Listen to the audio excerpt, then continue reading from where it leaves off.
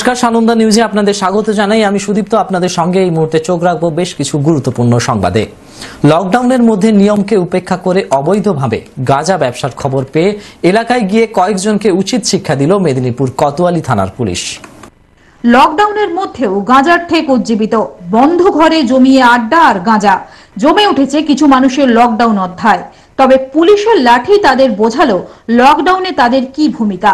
মেদিনীপুর শহরের কুইকোটা এলাকায় চলছিল গাঁজা ব্যবসা ও ঠেকে বসে গাঁজা খাওয়া। মেদিনীপুরের কোতোয়ালি থানার পুলিশ খবর পেয়ে তড়িঘড়ি এলাকায় হানা দিয়ে বন্ধ করেন গাঁজার ব্যবসা।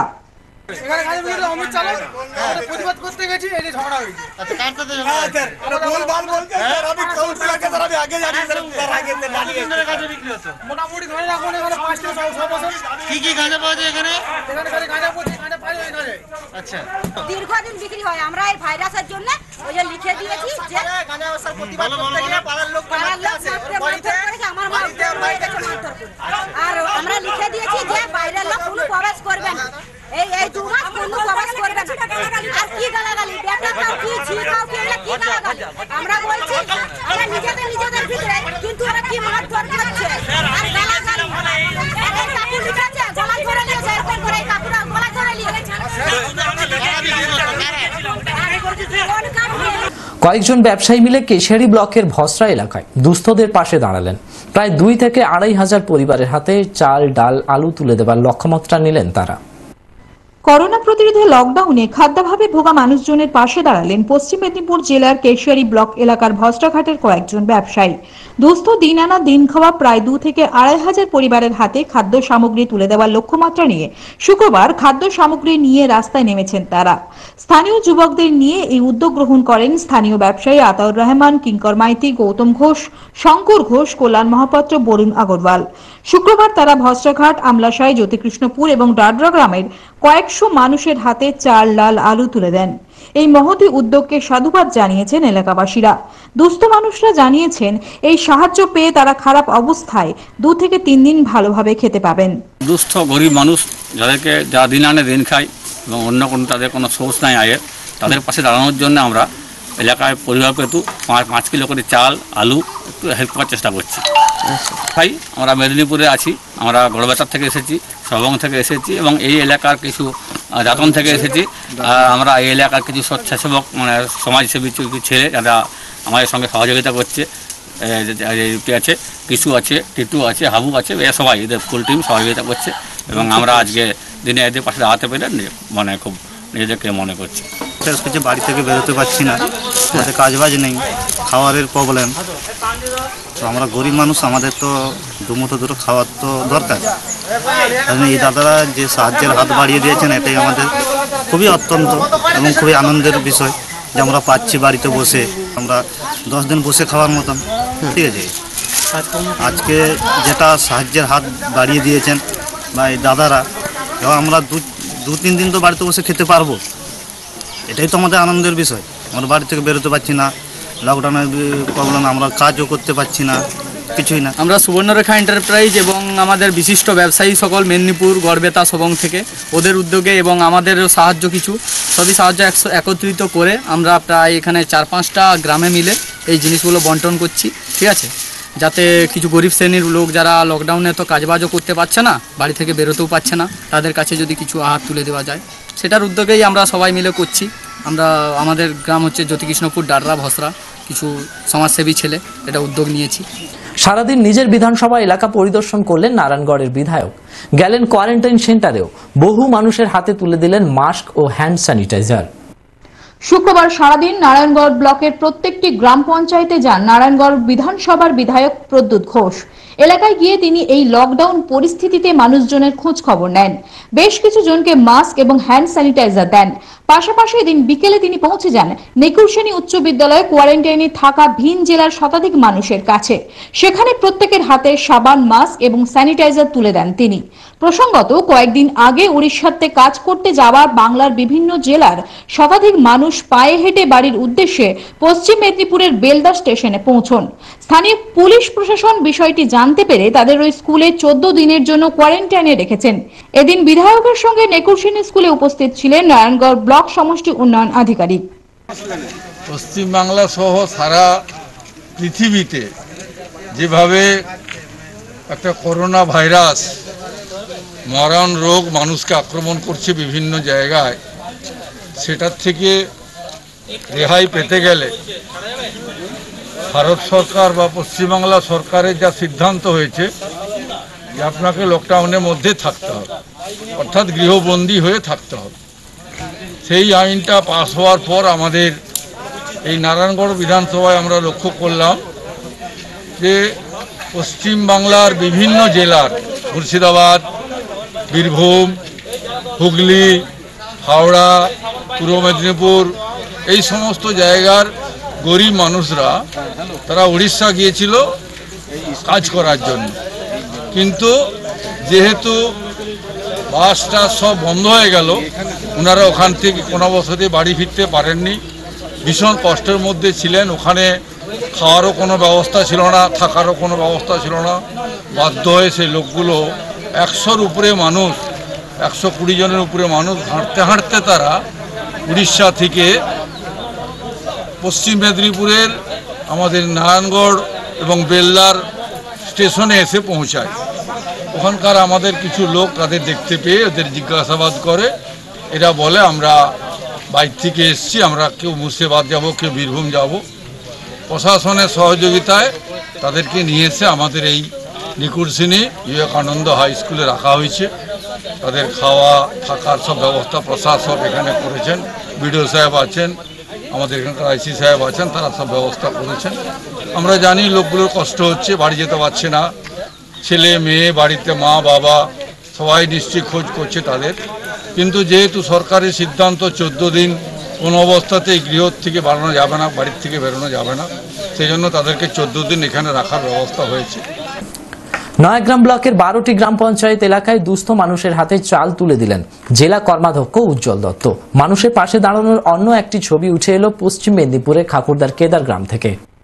ঝাড়গ্রাম জেলার নয়াগ্রাম ব্লকের বারোটি গ্রাম পঞ্চায়েতের গরিব দুস্থ মানুষজনের হাতে ত্রাণ তুলে দিলেন ঝাড়গ্রাম জেলা পরিষদের জনস্বাস্থ্য কারিগরি কর্মাধ্যক্ষ উজ্জ্বল দত্ত। দিন কয়েক আগে রাজ্যের পরিবহন মন্ত্রী শুভেন্দু অধিকারী সাত গাড়ি মিনিকিট চাল পাঠিয়েছিলেন। সেগুলি দুস্থ মানুষজনের মধ্যে বিলি করেন উজ্জ্বল দত্ত। এর জন্য তিনি শুভেন্দু অধিকারীকে ধন্যবাদও জানিয়েছেন। এই চাল এলাকার বিভিন্ন গ্রামে গ্রামে গিয়ে প্রদান করেন উজ্জ্বল বাবু মাননীয় মমতা বন্দ্যোপাধ্যায়ের নির্দেশ অনুযায়ী সারা জেলাতে যে লকডাউন চলছে, তাতে যারা দুস্থ মানুষ, বিশেষ করে লোধা উপজাতি সম্প্রদায়ের মানুষ, কিছু ডোম সম্প্রদায়ের মানুষ, এরকম আদিবাসী সম্প্রদায়ের কিছু মানুষ যারা অত্যন্ত গরিব, যাদের কেউ নেই, যাদের সহায় সম্বলহীন, সেই সমস্ত গরিব মানুষদের জন্য আমাদের সম্মানীয় মন্ত্রী, পরিবহন মন্ত্রী শুভেন্দু অধিকারী মহাশয়, তিনি আমাদের জেলার জন্য পাঁচ থেকে সাত হাজার প্যাকেট ত্রাণ তিনি পাঠিয়েছিলেন। এই ত্রাণ সামগ্রী আমরা প্রতিটি ব্লককে আজকে বিতরণ করে দিয়েছি এবং ব্লক জেলা থেকে ব্লকে এটা বিতরণ হওয়ার পরে গ্রামে গ্রামে গরিব মানুষদের কাছে এটা ঘরে ঘরে গিয়ে পৌঁছে দেওয়া হচ্ছে। অন্যদিকে, পশ্চিম মেদিনীপুর জেলার বেলদা থানা এলাকার কেদার উদয়শঙ্কর সমিতি এলাকায় দুস্থদের পাশে দাঁড়ালেন। লকডাউনে যখন চারিদিকে বাজার বন্ধ, তখন কেদার গ্রামের দুস্থ মানুষদের কাছে চাল, আলু, মুড়ি, সবজি নিয়ে হাজির কেদার উদয়শঙ্কর সমিতি। পাঁচশো জনের হাতে এই ক্লাব তাদের ত্রাণ সামগ্রী তুলে দেন। আগামী দিনেও তারা মানুষের পাশে থাকবে বলে জানিয়েছেন। পশ্চিম মেদিনীপুরের ডেবরা ব্লকের ডেবরা আট নম্বর গ্রাম পঞ্চায়েতের চকপ্রয়াগ গ্রামে দুস্থ মানুষজনদের হাতে খাদ্য সামগ্রী তুলে দিলেন উক্ত ব্লক তৃণমূল সভাপতি রাধাকান্ত মাইতি। করোনা মোকাবিলায় দেশজুড়ে লকডাউনের জেরে সমস্যায় পড়েছেন গরিব খেটে খাওয়া পরিবারগুলি। শুক্রবার পশ্চিম মেদিনীপুর জেলার ডেবরা আট নম্বর গ্রাম পঞ্চায়েতের চকপ্রয়াগ গ্রামে বেশিরভাগ দিন আনা দিন খাওয়া দুস্থ পরিবারগুলির হাতে আলু, পেঁয়াজ, ডাল, বিস্কুট, সাবান ইত্যাদি তুলে দিলেন ডেবরা ব্লক তৃণমূল সভাপতি রাধাকান্ত মাইতি। এদিন তিনি ব্যক্তিগত উদ্যোগে শতাধিক পরিবারের হাতে খাদ্য সামগ্রী তুলে দেন। এমনকি সবাই রেশন থেকে বিনামূল্যে চাল এবং খাদ্য সামগ্রী পেয়েছেন কিনা সে ব্যাপারেও খোঁজ নেন তিনি। শুধু তাই নয় এদিন করোনার বিষয়ে এলাকার মানুষজনকে সচেতনও করেন তিনি। দিদিমণি চাল দিচ্ছেন বিনা পয়সা আলু আছে পেঁয়াজ আছে একটু বিস্কুট আছে একটু ডাল আছে। আর আমাদের হাতের স্যানিটেশন করার জন্য আমরা একটা একটা করে বোতল ছোট ছোট দিয়ে যাচ্ছি। মাঝে মাঝে আমার সাবান আছে প্যাকেটে। সাবান দিবেন। যখন সাবান দেওয়ার অসুবিধা একটু স্যানিটাইজারটা মেখে নেবেন। নিয়ে রাখবেন। কিন্তু সঙ্গে সঙ্গে আমাদের মায়েদের অনুরোধ করি মেখে নিয়ে যেন আগুনের কাছে না চলে যান। আপনি রান্না করা করতেই হয়। একটু পাঁচ মিনিট দশ মিনিট অপেক্ষা করবেন নাহলে ওটা অ্যালকোহল আছে আগুন ধরে যাবে পশ্চিম মেদিনীপুর জেলার মেদিনীপুর সদর ব্লকের খয়রুল্লা চকে চলছে গ্রাম পাহারা। এই পাহারা করোনা আটকানোর চেষ্টা। অকারণে কেউ যেমন গ্রামের বাইরে বের হতে পারবেন না তেমনি কেউই বাইরের লোক গ্রামের ভেতরে ঢুকতে পারবেন না। এখানে করোনা ভাইরাসের জন্য যে প্রধানমন্ত্রী এবং আমাদের রাজ্য সরকার যে লকডাউনের ব্যবস্থাটা করেছে, ওই ব্যবস্থাতে আমরা দেখছি যে কিছু লোক এখনও পর্যন্ত অযথাভাবে বিনা কারণে এইসব চারিদিকে জটলা করছে, কেউ আড্ডা দিচ্ছে, কেউ চা দোকানে আসছে। তো এই অবাঞ্ছিত কাজকর্মগুলোর ফলে আমরা তো জানি ভাইরাস সংক্রমণ হয়, রোগ মানুষ থেকে মানুষে ছড়ায়। তো এই সংক্রমণ যাতে রোধ করা যায়, তাই অবাঞ্ছিত যারা ঘুরছে, যারা বিনা কারণে এসে জটলা করছে, তাদেরকে আমরা আটকানোর জন্য কালকে গ্রামবাসী থেকে একটা মিটিং হয়েছিল। তো মিটিংয়ে সিদ্ধান্ত নেওয়া হয়েছে যে ভুলভাল লোকদের বা যারা বিনা কারণে আসে, তাদের যেন আটকানো যায় এবং আমরাও যাতে সচেতন থাকি এবং মানুষকে, মানুষের জন্য যাতে হেল্প করতে পারি, তার জন্য আমরা একটা এখানে ব্যারিকেড আকারে করে আমার গ্রামকে আমরা সুরক্ষিত করছি। মোহনপুর ব্লক তৃণমূল সভাপতি মোহনপুর ব্লকে নির্বাচিত জনপ্রতিনিধিরা মিলে প্রায় আশি হাজার টাকা তুলে দিলেন করোনা মোকাবিলায় তৈরি ত্রাণ তহবিলে। করোনা প্রতিরোধে লকডাউন পরিস্থিতি মোকাবিলায় রাজ্যের মুখ্যমন্ত্রী তথা সরকারি ত্রাণ তহবিলে মোহনপুর ব্লকের বিভিন্ন পঞ্চায়েতে তৃণমূল থেকে নির্বাচিত প্রতিনিধিদের পক্ষ থেকে অর্থ প্রদান করা হল শুক্রবার। মোহনপুরের বিডিও রাজীব দত্ত চৌধুরীর মাধ্যমে ত্রাণ তহবিলের জন্য নগদ ষাট হাজার টাকা তুলে দিলেন নির্বাচিত জনপ্রতিনিধিরা। সেই সঙ্গে মোহনপুর ব্লক তৃণমূল কংগ্রেসের সভাপতি প্রদীপ পাত্র ব্যক্তিগত কুড়ি হাজার টাকার চেক তুলে দেন বিডিওর হাতে। উপস্থিত ছিলেন পঞ্চায়েত সমিতির সভাপতি তপন প্রধান, পূর্ত কর্মাধ্যক্ষ রাজীব নায়েক, যুগ্ম সমষ্টি উন্নয়ন আধিকারিক রাকেশ গায়েন সহ অন্যান্যরা। আমি প্রদীপ কুমার পাত্র ব্যক্তিগতভাবে পশ্চিমবঙ্গের মাননীয় মুখ্যমন্ত্রীর করোনা মহামারী প্রতিরোধ তহবিলে কুড়ি হাজার টাকা চেক মারফতে মোহনপুর ব্লক প্রশাসনের সম্মানীয় সমষ্টি উন্নয়ন আধিকারিক মহোদয়ের হাতে তুলে চোখ রাখব পরবর্তী খবরে মেদিনীপুর শহরে। লকডাউন উপেক্ষা করে রাস্তায় বের হওয়া মানুষজনকে বোঝানোর পাশাপাশি পথচলতিদের গাড়ি, ব্যাগপত্র চেকিং করল পুলিশ। লকডাউনের দিন যত বাড়ছে মানুষজনের বাইরে বের হওয়ার বাহানাও তত বাড়ছে। করোনা আতঙ্কে গোটা দেশ লকডাউন তার উপর প্রতিদিন বাড়ছে করোনা আক্রান্তের সংখ্যা। আর এমন সময় একাংশ মানুষের বর্বরতা দেশকে আরও বিপদের মুখে ঠেলে দিচ্ছে। মেদিনীপুর শহরে লকডাউনকে উপেক্ষা করেই মানুষ বেরিয়ে পড়েছেন রাস্তায়। তাই সাধারণ মানুষকে সাবধান করতে মেদিনীপুর শহরে রাস্তায় নেমেছেন অতিরিক্ত পুলিশ সুপারের নেতৃত্বে কোতোয়ালি থানার একটি বিশাল টিম। নানা কাজের অজুহাত দিচ্ছেন বাইরে বের হওয়ার জন্য। তাই তাদেরকে সাবধান করছেন পুলিশ প্রশাসনের কর্তা ব্যক্তিরা। পাশাপাশি চলছে কড়া চেকিংও। চোখ এবং নাক স্পর্শ করা থেকে বিরত থাকে প্রকাশ্যে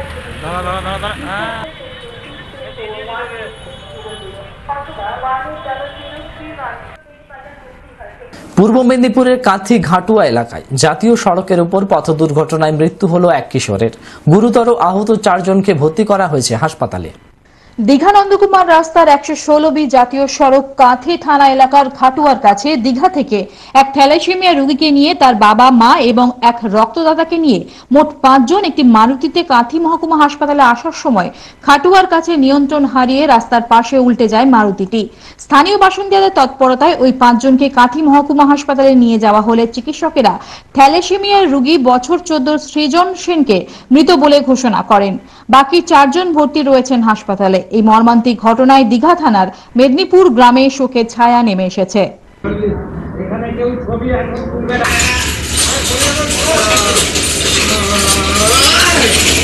করোনা মোকাবিলায় জমায়েত এড়াতে মালদা শহরের মসজিদগুলিতে নজরদারি চালালো মালদা জেলা প্রশাসন। মালদা শহরের মসজিদগুলো লকডাউন পরিস্থিতিতে কি অবস্থায় রয়েছে, তা তদারকি করল জেলা প্রশাসনের কর্তারা। বিভিন্ন মসজিদের ইমামদের নিয়ে এই ব্যবস্থা করা হয় প্রশাসনের পক্ষ থেকে। ছিলেন অতিরিক্ত জেলা শাসক অশোক কুমার মোদক, মালদা জেলার ইমাম মোহাম্মদ জাহাঙ্গীর আলম সহ অন্যান্যরা। দেশ জুড়ে একুশ দিনের লকডাউনে কেন্দ্র সরকার পরিষ্কারভাবে জানিয়ে দিয়েছেন, কোথাও কোনো রকম ভাবে জমায়েত করা চলবে না। কিন্তু তারপরেও কিছু কিছু এলাকায় জমায়েতের অভিযোগ উঠছে। এমনকি কয়েকটি মসজিদেও নামাজ পাঠের সময় জড়ো হচ্ছেন প্রচুর মানুষ। সেই সব দিক খতিয়ে দেখতেই এদিন ময়দানে নামে জেলা প্রশাসনের শীর্ষ কর্তারা। বোঝানো হয়, মসজিদে আসা ধর্মপ্রাণ মানুষদের। ইমামদেরও এ ব্যাপারে ওয়াকিবহাল করা হয়। এখানে এটা মিরসদ জামে মসজিদ। এখানে আমরা একটু বাইরে খবর পেয়েছিলাম যে এরকম লক সঠিকভাবে পালন হচ্ছে না। তো আমরা চেয়েছিলাম যে এটা যেন যথাযথভাবে পালন হয়। সেদিকে লক্ষ্য করে আমাদের এডিএম সাহেব এসেছিলেন, রোমা সাহেব এসেছিলেন ডিস্ট্রিক্ট ইমাম সাহেব মালদা আমি এসেছিলাম। এসে মসজিদ কমিটি কর্তৃপক্ষের সঙ্গে কথা বললাম। ওনারা আমাদের প্রতিশ্রুতি দিলেন যে আগামী ওয়াক্ত থেকে বা আগামী নামাজ থেকে আমরা লকডাউনটা পুরোপুরি যেন পালন হয়, এদিকে আমরা লক্ষ্য রাখব ভিন রাজ্যের শ্রমিকদের দিয়ে কাজ অব্যাহত রাখার অভিযোগ বাঁকুড়া মেজিয়া ব্লকের গোস্বামী গ্রামের একটি বস্তা তৈরি কারখানার বিরুদ্ধে। ভিন রাজ্যের শ্রমিকদের দিয়ে কারখানায় কাজ করানো হচ্ছে। কর্মরত শ্রমিকদের মাধ্যমে এলাকায় করোনা সংক্রমণের আশঙ্কা করে ওই বেসরকারি কারখানার গেটের সামনে বিক্ষোভ দেখালেন স্থানীয় বাসিন্দাদের একাংশ। বাঁকুড়ার মেজিয়া ব্লক এলাকার গোস্বামী গ্রামের ঘটনা। স্থানীয় সূত্রে জানা গেছে, ষাট নম্বর জাতীয় সড়কের পাশে গোস্বামী গ্রাম এলাকায় একটি বস্তা তৈরির কারখানা রয়েছে। করোনা সংক্রমণ ঠেকাতে দেশ জুড়ে যখন লকডাউন চলছে, ঠিক তখনই কিছু স্থানীয় এবং ভিন রাজ্যের শ্রমিকদের দিয়ে এখানে উৎপাদন অব্যাহত রয়েছে বলে অভিযোগ। এমনকি এই পরিস্থিতিতে কাজে যোগ না দিলে ছাঁটাইয়ের হুমকি দিয়ে শ্রমিকদের কাজ করাতে বাধ্য করা হচ্ছে বলেও কারখানা কর্তৃপক্ষের বিরুদ্ধে অভিযোগ উঠতে শুরু করেছে। ফলে জীবন জীবিকার স্বার্থে করোনা আতঙ্ককে দূরে সরিয়ে ভিন রাজ্যের শ্রমিকদের সাথে স্থানীয় শ্রমিকরাও কাজ করতে বাধ্য হচ্ছেন। বাসিন্দাদের দাবি, এই কারখানায় ছটি রাজ্যের লোক কাজ করেন। লকডাউনের সময় কাজ করার পাশাপাশি অবসরের সময় কোন রকম নিরাপত্তার ব্যবস্থা না করে শ্রমিকরা এলাকায় ঘুরে বেড়াচ্ছেন। ফলে করোনা সংক্রমণের একটা আশঙ্কা থেকেই যাচ্ছে। এই অবস্থায় একাধিকবার কারখানা কর্তৃপক্ষকে বিষয়টি জানালেও কাজ বন্ধ হয়নি বলে দাবি। আমাদের প্রতিবাদ হলো বাইরের কিছু শ্রমিক আছে এই লকডাউনের সময় বাইরে শ্রমিক এসে পড়ে, কাজ করছে এবং তারা বাইরে ঘুরে বেড়াচ্ছে প্রত্যক্ষ দিবালোকে কোনো সেফটির ব্যবস্থা না নিয়ে পরেও ঘুরে বেড়াচ্ছে। এখন কোথাও হচ্ছে এই লকডাউনের সময় বাইরের এই যে করোনা ভাইরাস চারিদিকে উঠছে, চারিদিকে একটা হাহাকার চলছে। ভারত সরকার থেকে আরম্ভ করে পশ্চিমবাংলা সরকার পর্যন্ত এর বিরুদ্ধে সমস্ত লকডাউন করে দিয়েছে। সেই অবস্থায় তারা ভাইরাস ছড়াচ্ছে, ভাইরাস ছড়াবে না কিনা ছড়িবে কিনা? যদি ভাইরাস ছড়ে যায়, আমার গোটা গ্রাম নষ্ট হয়ে যাবে, প্রত্যেকটি মানুষ আমার সব মরে বসে বসে থাকবে। মানে যে সেফটির ব্যবস্থা, সেই সেফটির ব্যবস্থা করবে হ্যাঁ এখানে যথারীতি সেফটি আছে কি না সেটাও সবসময় আমরা জানি না। যাতে করোনা ভাইরাসের কোনো প্রতিক্রিয়া না ঘটে, তার জন্য যথারীতি ব্যবস্থা করা হোক। যদিও গ্রামবাসীদের দাবি মানতে নারাজ সংশ্লিষ্ট কারখানা কর্তৃপক্ষ। দায়িত্বপ্রাপ্ত ম্যানেজার আর কে সিংকে এ বিষয়ে প্রশ্ন করা হলে তিনি বলেন, জেলা শাসকের অনুমতি নিয়েই কারখানায় কাজ চলছে। আমাদের যে কোম্পানির ওয়ার্কাররা আছে বাইরে থেকে এসছে, ওরা সব কোম্পানিতে থাকে ক্যান্টিনে খাবার খায়, ওরা বাইরে আসতে যায় না, খালি ওরা বাইরে থেকে বেরিয়ে কোম্পানি কলোনি যায়, মাস্ক লাগিয়ে যায়। তাতে আমাদের ওয়ার্কারদের কোনো দোকানে যাওয়ার প্রয়োজন নেই, রাশন নেওয়ার দরকার নেই। আমাদের ক্যান্টিন রয়েছে, আপনার দরকার পড়ে, আপনি দেখে নেন ক্যান্টিনে খাবার হচ্ছে ওরা এদিক থেকে থেকে বেরোয় এদিকে হ্যান্ড ওয়াশ দিয়ে ভালো করে হাত পা ধুয়ে করে মাস্ক লাগিয়ে তারপরে কোম্পানি সবাইকে মাস্ক দিয়েছে হ্যান্ড ওয়াশ দিয়েছে এক এক মিনিটের দুই লেগেছে আপনি বলছেন যারা লোকাল ওয়ার্কার এখানে কাজ করে তারা এখানে থাকে তারা বাইরে বেরোয় না। ওরা বাইরে যায় বাড়িতে। খাওয়া দাওয়া এদিকে খায় খাবার খেতে বাড়ি যায় না। না না বাড়ি কি যাই না না এখানে তারা স্টে করে। দরকার পড়লে দিয়ে স্টে করে না ওটি করতে হলে চব্বিশ ঘণ্টা দিয়েই থাকে। কিন্তু মাঝে মধ্যে বাড়ি যায়। মাঝে মাঝে কিন্তু চার চার করে। তো মাঝে মধ্যে যদি দাদা বাড়ি যায় তাহলে সেই ক্ষেত্রে সংক্রমণ তো ছড়ানোর একটা আশঙ্কা থেকে যাচ্ছে। কিছু বলতে পারব এই বক্তব্য আমি কিছু বলতে বাজারে ভিড় আটকানো অসম্ভব দেখে চার দিন বাজার বন্ধ রাখার সিদ্ধান্ত নিলেন বাঁকুড়া বিষ্ণুপুরের চক বাজার ও শাঁখারি বাজারের ব্যবসায়ীরা। করোনা সংক্রমণ ঠেকাতে দেশ জুড়ে লকডাউনের মধ্যেও সরকারি নির্দেশে সবজি সহ নিত্য প্রয়োজনীয় দ্রব্যের দোকান খোলা রয়েছে। কিন্তু প্রশাসনিক নির্দেশ থাকা সত্ত্বেও বাজারে আসা মানুষ সামাজিক দূরত্ব না মেনে চলায় আগামী চার দিনের জন্য বাঁকুড়ার বিষ্ণুপুরের চক বাজার ও শাখারি বাজার বন্ধের সিদ্ধান্ত নিলেন সংশ্লিষ্ট ব্যবসায়ীরা। আগামী শনিবার থেকে এই সিদ্ধান্ত কার্যকর হচ্ছে বলে জানা গেছে। চকবাজার ও শাখারি বাজারের ব্যবসায়ীরা জানিয়েছেন, এখানে আসা প্রতিটি ক্রেতাকে নিজেদের মধ্যে নির্দিষ্ট সামাজিক দূরত্ব বজায় রেখে বাজার করছেন না। আগামী চার দিন শহরের এই দুই সবজি বাজার সম্পূর্ণ বন্ধ রাখার সিদ্ধান্ত নেওয়া হয়েছে ব্যবসায়ী সংগঠনের তরফে। এই খবর ছড়িয়ে পড়তে শুক্রবার দিনভর অসংখ্য মানুষ বাজারে ভিড় করেন। এদিন বাজারে যাওয়ার পথে এক ক্রেতা বলেন, সরকারি ঘোষণা নেই, তবে লোকমুখে বাজার বন্ধের কথা শুনে তড়িঘড়ি বাজারে বেরিয়েছি। চকবাজার ব্যবসায়ী কমিটির বাসুদেব রজকও একই দাবি করেন, শুধুমাত্র ভিড় এড়াতেই এই সিদ্ধান্ত বলে তিনি জানান। এই বিষয়ে বাজারের ভিতরে কিছু লোক আলোচনা করছিল হ্যাঁ চার দিন থেকে বাজার বন্ধ থাকবে। আমি এরকম শুনি এখন তাড়াতাড়ি বেরোচ্ছি বাজার করতে। কিছু আনাজপাতি নিয়ে আসি না খাব কি চার দিন ধরে। এটা পার্টিকুলারলি মানুষের মধ্যেই তো খবরাখবরগুলো হয়ে হয়ে আসছে তো। এখানে প্রশাসনের তরফ থেকে কোনো অ্যানাউন্সমেন্ট কিছু করছে না। তো অ্যানাউন্সমেন্ট আমরা কিছু পাইনি অবশ্য যদিও। তবু আমি শুনে আমি নিজে সচেষ্ট হয়ে যাচ্ছি।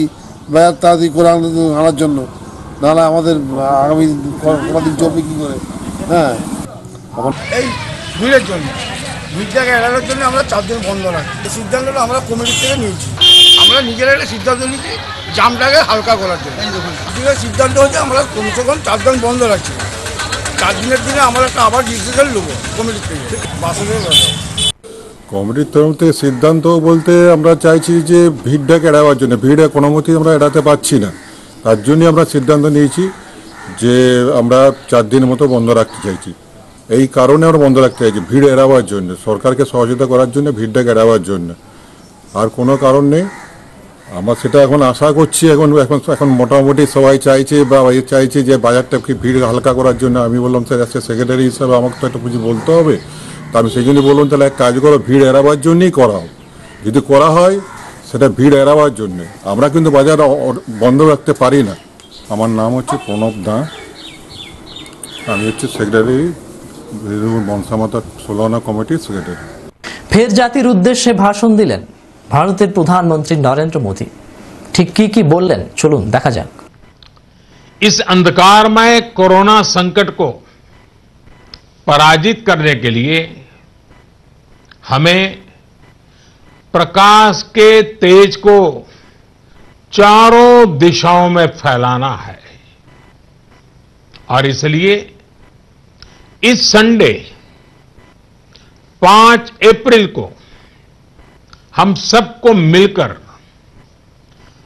कोरोना के संकट के अंधकार को चुनौती देनी है। उसे प्रकाश की ताकत का परिचय कराना है।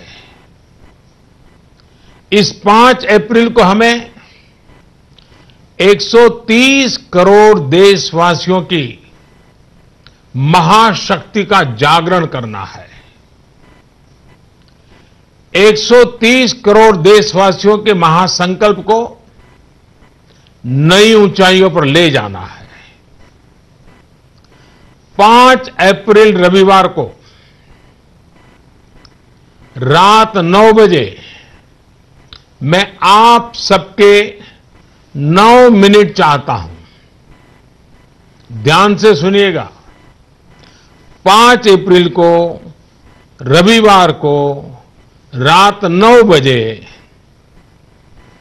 घर की सभी लाइटें बंद करके घर के दरवाजे पर या बालकनी में खड़े रहकर 9 मिनट के लिए मोमबत्ती, दिया, टॉर्च या मोबाइल की फ्लैशलाइट जलाएँ। मैं फिर कहूँगा, मोमबत्ती, दिया, टॉर्च या मोबाइल की फ्लैश लाइट पाँच अप्रैल को रात को नौ बजे, नौ मिनट तक ज़रूर जलाएँ।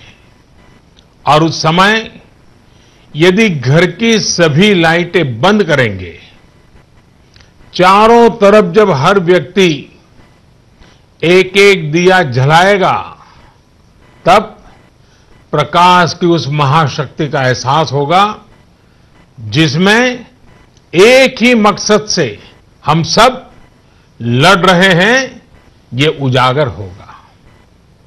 उस प्रकाश में, उस रोशनी में, उस उजाले में हम अपने मन में ये संकल्प करें कि हम अकेले नहीं है। हम अकेले नहीं है। कोई भी अकेला नहीं है। 130 करोड़ देशवासी एक ही संकल्प के साथ, कृत संकल्प है। साथियों, मेरी एक और प्रार्थना है। इस आयोजन के समय किसी को भी कहीं पर भी इकट्ठा नहीं होना है। रास्तों में, गलियों में या मोहल्लों में नहीं जाना है। अपने घर के दरवाजे बालकनी से ही इसे करना है। सोशल डिस्टेंसिंग सोशल डिस्टेंसिंग की लक्ष्मण रेखा को कभी भी लांघना नहीं है। सोशल डिस्टेंसिंग को किसी भी हालत में तोड़ना नहीं है। कोरोना की चेन तोड़ने का यही रामबाण इलाज है। इसलिए 5 अप्रैल रविवार को रात 9 बजे कुछ पल अकेले बैठकर माँ भारती का स्मरण कीजिए। 130 करोड़ देशवासियों के चेहरों की कल्पना कीजिए। 130 करोड़ देशवासियों की सामूहिकता इस महाशक्ति का एहसास कीजिए ये हमें संकट की इस घड़ी से लड़ने की ताकत देगा और जीतने का आत्मविश्वास भी সংবাদ এ পর্যন্তই দেখতে থাকুন সানন্দ নিউজ আমার আপনার সবার খবর বাড়িতে থাকুন সুস্থ থাকুন করোনার বিরুদ্ধে লড়তে থাকুন